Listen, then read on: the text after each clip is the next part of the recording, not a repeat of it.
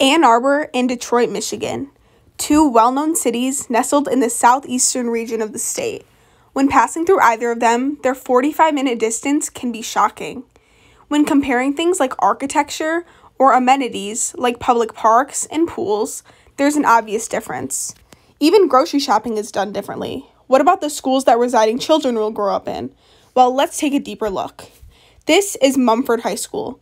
Located on the northwest side of Detroit, Samuel C. Mumford High School has a little over 1,000 attendees. According to niche.com, only 67% of the student body reported feeling safe at school. Over 840 students receive free or reduced lunch due to the fact that the majority of families live below or near the poverty line. Common course offerings include vocal, dance, theater, visual arts, and some AP and honors classes, though only 2% of students choose to be involved. Athletics are district wide, and students can choose between cross country, track, swimming, basketball, baseball, or softball, though the school reports having low participation. Let's compare it to Skyline High School, the Ann Arbor high school we may or may not be familiar with. It's one of the top ranking high schools in the state and one of the best for college prep. Standardized test scores are well above average, and the student body generally chooses to challenge themselves. Common course offerings include choir, band, orchestra, visual arts, more than 15 AP classes, A2 virtual online classes, and a nationally recognized magnet program. There are countless extracurricular options ranging from football to National Honor Society. Why does your range of opportunities vary depending on your zip code?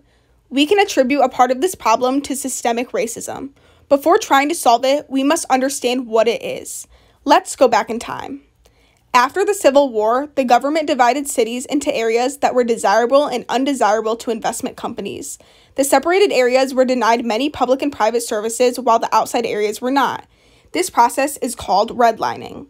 Redlining commonly segregated black neighborhoods. In the future, this caused black people to be denied loans to purchase homes and get a college education. A piece of these racist behaviors roots from implicit bias. Implicit bias is the predisposed attribution of qualities to a specific group. A portion of people believe that racist values are diminished, but recent research shows that these behaviors are still prevalent. A 2012 study from Ohio State University examined how treatment done by pediatricians is affected by implicit racial attitude. These doctors were more likely to prescribe white children painkillers than their black counterparts. This can be extremely harmful, especially in careers like healthcare and law enforcement. I'm going to pose a question. Why did this problem just recently begin making news headlines? It's not new. In fact, it's been going on for decades. In the 1950s, state government utilized force and power of the police as civil rights protests began. From 1963 to 1965, officers exerted force on demonstrators in forms of tear gas and police dogs during the Birmingham campaign. These actions were often televised. Tennessee v. Garner of 1985 and Graham v. Connor of 1989 constitutionally regulated the police. In 1991, Rodney King was beaten by LAPD, which led to six days of riots. In the early 2000s, the rise of social media allowed for awareness to be more widespread. In 2013, the Black Lives Matter movement was created to display the segregation towards African Americans by police. The movement spread awareness about the deaths of Eric Garner, Tamir Rice, and so many more.